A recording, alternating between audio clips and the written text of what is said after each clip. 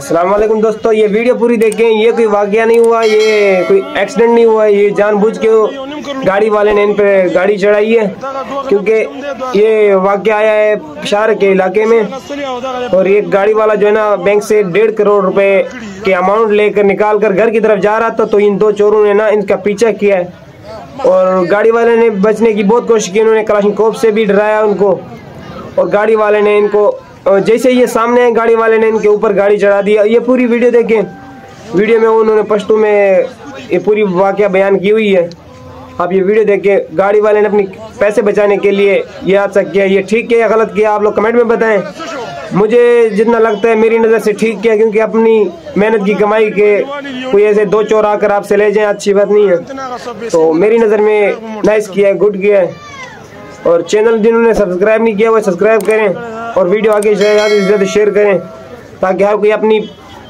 پیسے اس طرح سے بچائے اور ویڈیو پوری دیکھیں لفت لفت لفت هغه ته مې ویډیو کړ لفت سیګری در سره د کور نه راوتم د خپل کور نه چې څنګه راوتم سلوما رال مخې ته راته ودرېده تمانچې راویسته ماشین را باندې راویستو زه نه وم خبر چې څه چلې که نه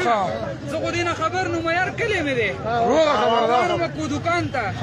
په بیگ کې راڅه پیسې وې دوه کروړو روپۍ وې بس ماشین را باندې کېښوستو نرتوب کار دی را باندې وکړو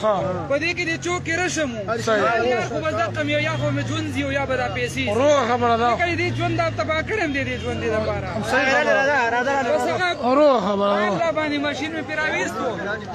و مې وایي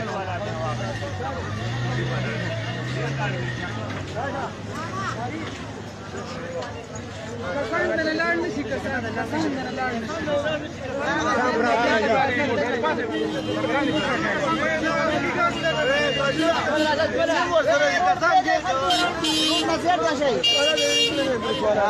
د ګاډي پسې روستو تړه دا ګاډي نه دی پسې روستو تړه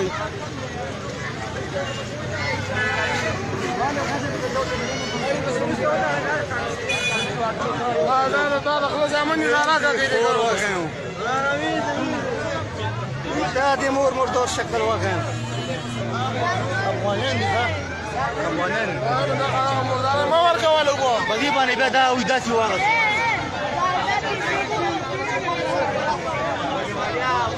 مګالي والی دی دا شینم دی